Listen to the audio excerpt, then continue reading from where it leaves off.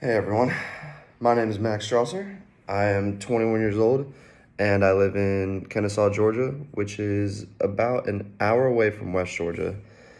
Um, in this house, I got three little brothers, four dogs, and a whole bunch of other animals that are around my house, which I'm practically around the entire day. But uh, when I'm not here, I'm working at a local restaurant um, called Cielo Blue in Marietta, and uh, I am a server and bartender there. And this is pretty much my first serving job.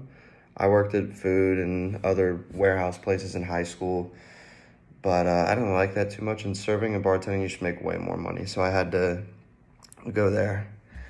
And um, before all this quarantine stuff happened, uh, I was at West Georgia majoring in business management and finishing up my junior year this summer.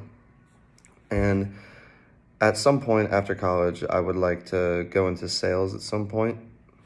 I don't know what kind of field of sales I would like to go into, construction or or any anything like that.